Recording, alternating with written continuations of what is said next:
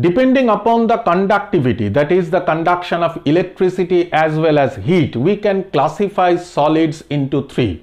Number one, the metals, number two, the insulators, and number three, the semiconductors. Now, the question must arise that how we can differ these materials depending upon their conductivities, and the answer is as simple as that. Depending upon the band theory or the energy band diagram, we can classify solids into metals, insulators, as well as semiconductors as we know that every metal is a good conductor of both electricity as well as heat and they can readily conduct both of these.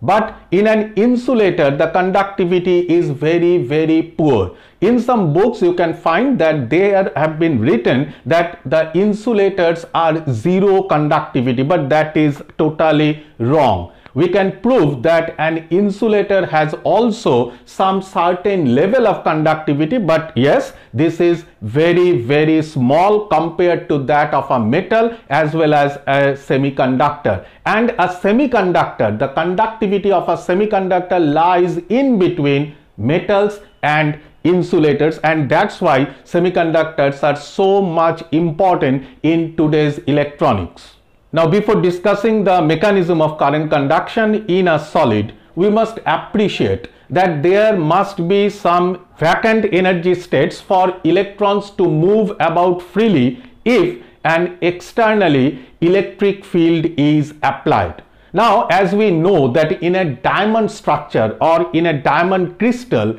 the valence band is completely filled with electrons and the conduction band is totally empty as well as for a semiconductor at 0 Kelvin we can find that there are also some vacant states in the conduction band as there will be no electrons in the conduction band at 0 Kelvin and the valence band is totally filled with electrons. Then where is the difference between a semiconductor and an insulator?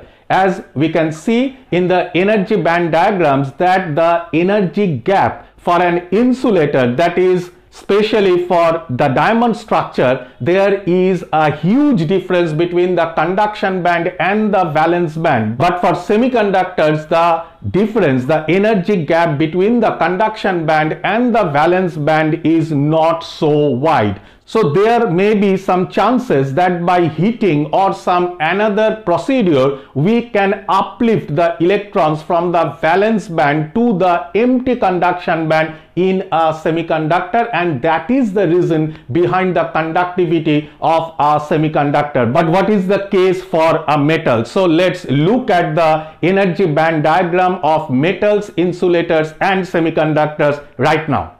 So let's look at this picture carefully. I have shown you firstly an insulator, then a semiconductor and lastly a metal.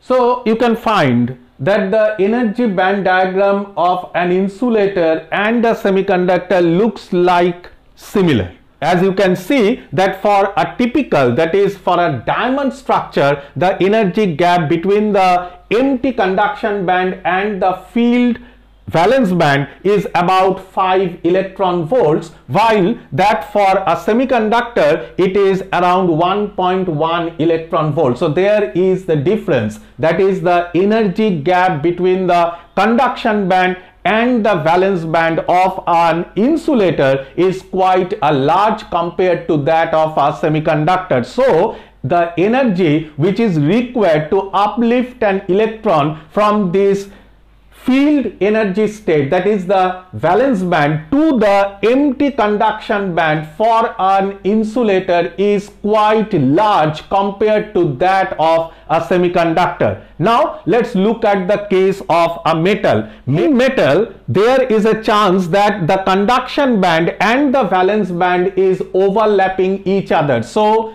you can't recognize that where the conduction band ends and where from the valence band starts. So the electrons which is actually resides inside the valence band they can behave as the conduction band electrons okay and alternatively in some metals there may be the valence band is filled up with electrons but the conduction band is partially filled so if the electron can have some empty states in the conduction band, they can easily conduct electricity as well as heat. So that is the reason that a metal can react or can conduct electricity as well as heat readily. But we are interested upon the semiconductor materials and as you can see and I have repeatedly told you that the number of electrons residing in the conduction band actually take part in the conductivity of the material. So for a semiconductor as the energy gap that is the gap between the valence band that is the field valence band and the empty conduction band is around 1 1.1 electron volt. So there may be some chances that is due to the room temperature that is the thermal agitation we can uplift an electron from this field energy state that is from the valence band to the empty conduction band and as a result we can find conductivity in a semiconductor. So the bottom line is here that is at 0 Kelvin semiconductor can behave as an insulator. Why? Because